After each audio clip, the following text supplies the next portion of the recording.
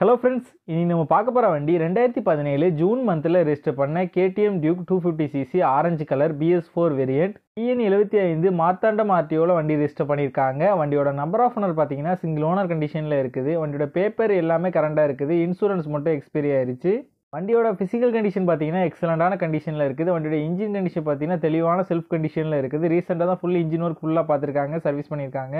Seller சைடில் இருந்து one இயருக்கு இன்ஜின் வாரண்டி கொடுத்துருக்காங்க. வண்டியோட பாடி அவுட்லுக் பார்த்தீங்கன்னா எக்ஸலண்டான கண்டிஷனில் தான் இருக்குது. எந்த விதமான மேஜர் ஸ்க்ராச்சோ மேஜர் டென்ட்டோ எல்லாமே நீட்டான கண்டிஷனில் நல்லா மெயின்டைன் பண்ணியிருக்காங்க. சிங்கிள் ஓனர் ஹேண்டில் பண்ண வண்டி அப்படிங்கிறனால பக்கா மெயின்டைன் பண்ணதாக இருக்குது. இது ஒரு லெஸ் கிலோமீட்டர் ட்ரைவ் பண்ண வண்டி தான். இந்த வண்டியோட ஓவரால் ரன்னிங் கிலோமீட்டர் பார்த்தீங்கன்னா இருபத்தோராயிரத்தி ஐநூற்றி முப்பத்தி நாலு கிலோமீட்டர் வண்டி ஓடி இருக்குது வண்டியோட ஃப்ரண்ட் அண்ட் ரெண்டு டயர் ரேடியல் டயர் தான். பேக் டயர் பார்த்தீங்கன்னா ரீசெண்டாக தான் சேஞ்ச் பண்ணியிருக்காங்க. ரீசெண்டாக தான் ஃபுல் ஜென்ரல் சர்வீஸ் எல்லாமே பண்ணியிருக்காங்க. எந்த விதமான ரீப்ளேஸ்மெண்ட் எதுவுமே வண்டியில் கிடையாது. இந்த வண்டி இருக்க லொக்கேஷன் திருநெல்வேலி தான் இருக்குது. திருநெல்வேலியில் உள்ள லோக்கல் ஏரியா பீப்புள்ஸுக்கு ஃபினான்ஸ் ஃபெசிலிட்டியோட பண்ணி கொடுக்குறேன்னு சொல்லியிருக்காங்க. இவங்க கிட்ட எக்ஸ்சேஞ்ச் ஆப்ஷனும் இருக்குது. வண்டிக்கு இவங்க கோட் பண்ணுற ப்ரைஸ் ஒரு லட்சத்தி நாற்பத்தி ஒன்பதாயிரரூவா கோட் பண்ணுறாங்க ப்ரைஸ் வந்து ஃபிக்ஸ்டு இல்லை லிட்டில் பிட் நெகஷபிள் பண்ணி தரேன்னு சொல்லியிருக்காங்க. இந்த வண்டி நீட் இருக்கவங்க கீழே தெரியுற நம்பரை கான்டாக்ட் பண்ணுங்கள் இந்த வண்டியோட ஃபுல் டீட்டெயில் டிஸ்கிரிப்ஷனில் கொடுத்துருக்கேன். செக் பண்ணிக்கோங்க.